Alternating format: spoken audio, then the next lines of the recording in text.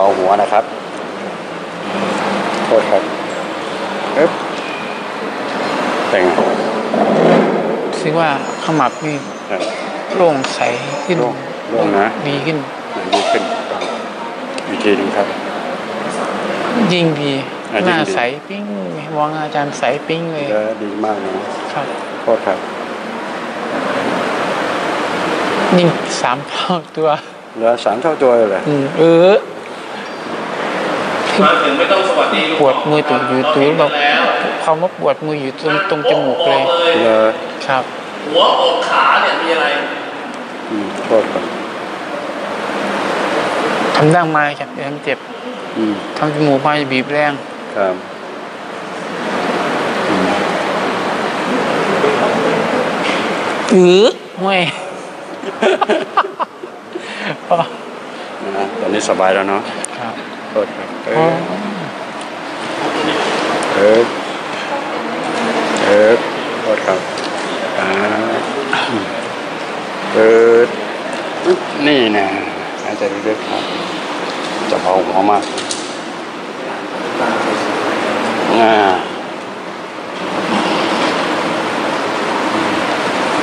เอ๊บเออไม่เอออย่าพออย่าพออย่าพออืม ไม่ชอบไม่ต้องอดทนครับมันเจ็บแค่นั้นน่ะนั่งหน้าไปก่อนนั้นลุงหมอกจับตรงไหนเจ็บอ๋อเจ็บเจ็บเจ็บไม่ต้องทนถ้าทนคือโรคเจ็บปุ๊บบอกเจ็บเลยครับแป๊บไปแล้วครับ ครับไปแล้วอู้พอแล้วเออเออพอแล้วพอแล้ว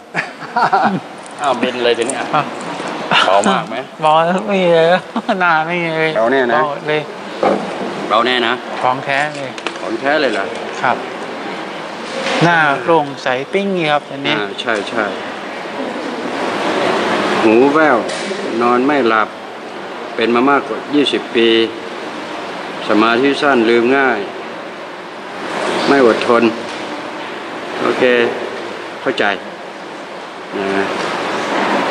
นี่เขาเรียกว่าจิตเภท ถูกต้อทางงแพทย์ก็บอกว่าจิตเภทครับสมาธิสั้นอ่าความจริงเราจะไม่รู้ตัวว่าขณะที่เราเป็น เช่น เพ้อพูดพร่ำไปเรื่อยแหละ เดินไปเรื่อย พูดพร่ำไปเรื่อย ตรงหน้าวันนั้นนะเนาะครับวันนี้ไม่เป็นเนาะมันเป็นตั้งแต่เกิดแล้วอะตอนนี้ไม่เป็นแล้วนะทีนี้เนาะครับ รู้ตัวหมดแล้วนะครับ ครับหน้าว่าใสเราคือใครเนาะครับสว่านสวยดีไหมครับ มันแบบเอามีคนเอากล้องมาถ่ายปุ๊บปุ๊บปุ๊บปุ๊บปุ๊บปุ๊บนะเหรอ แบบนี้แหละเหมือนกับแฟลชปับปับปับปับเลยนะถูกต้องสว่างรูปรูปถูเลกยต้องครับ โอ้โหเกินความเชื่อเนาะสุดยอดเลย สุดยอดเลยนะครับก็หวังว่าไอ้ที่เขาว่าจิตเภทนั้นบัดนี้ไม่ใช่แล้วล่ะ เรื่องจริงครับนี่นะของแท้เนี่ยของแท้เหรอของแท้จริงคเหรรัอบครับเออ แต่ต้องกินยาให้ครบอายุสี่ห้าปีถึงได้เลิกยาหมอเหบรอกอครับว้าว ต่อไปคิดว่าจะกินอีกไหมเนี่ยต้องกินหมอให้กินครับ ก็กินตามที่หมอสั่งพอประมาณนะครับเออออายุสี่ห้าปีเลิกยาโอเคครับ เข้าใจ กินครับ ตามหมอเขาสั่งเอาไว้ ครับคุณพ่อถ้าเผื่อว่ารู้ว่ามันดีขึ้น แล้วก็พยายามลดยาบอกหมอเขานะ แม่ผมไม่กล้าบอกให้แม่บอกแม่คนเออ เป็นคนดูแลผม โอเคเข้าใจค่อยๆบอกหมอลดยานิดนึงได้ไหมอย่างเงี้ยเพราะว่าทีนี้เรามีพลังตรงนี้ขึ้นมาแล้ว มันจะได้เลิกยางับอากาศทุกทุกๆวันอ่าเลย